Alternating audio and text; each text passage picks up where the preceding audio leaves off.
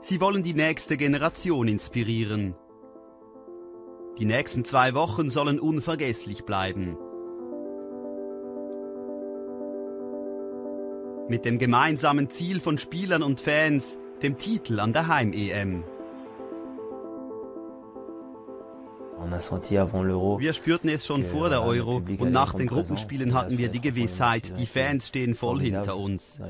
In schwierigen Momenten haben sie zu uns gehalten und uns ermutigt. Das hat uns echt geholfen. Ein Spiel dauert bis zur letzten Minute. Die Fans waren unser zwölfter Mann und haben uns viel Kraft gegeben in diesen Partien. Dimitri Payet verkörpert alles, was die Fans sehen wollen. Er ist höchst talentiert, leidenschaftlich, kreativ und engagiert.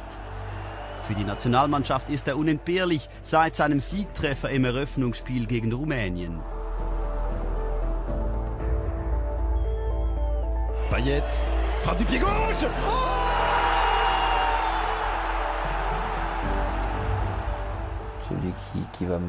Dieses Tor wird mir immer in Erinnerung bleiben.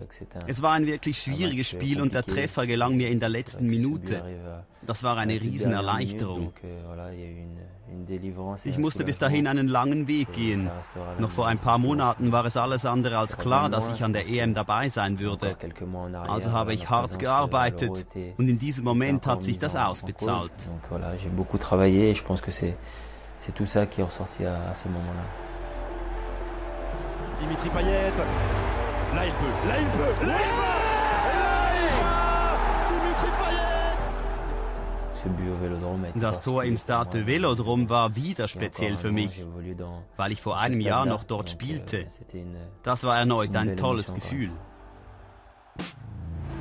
Payet ist nicht das einzige große Vorbild für die französische Jugend, denn neben den erfahrenen Spielern verfügen Les Bleus über einige junge Topspieler. Paul Pogba hat überzeugt, seit er in die Startelf zurückgekehrt ist.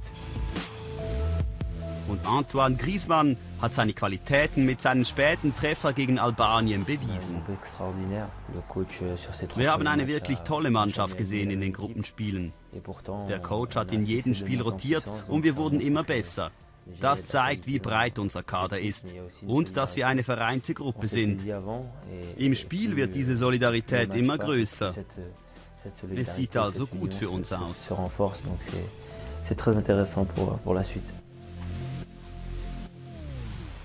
Die Gastgeber suchen den Weg in den Viertelfinal in Lyon. Hier fanden schon vier Spiele statt, unter anderem das 3 zu 3 zwischen Ungarn und Portugal. In Lyon gibt's auch einen Halbfinal zu sehen.